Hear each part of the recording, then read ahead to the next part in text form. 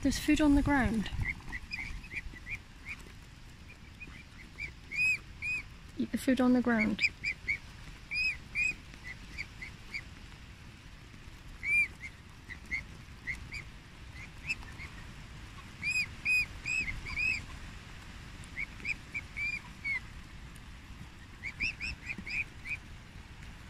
In a huff now.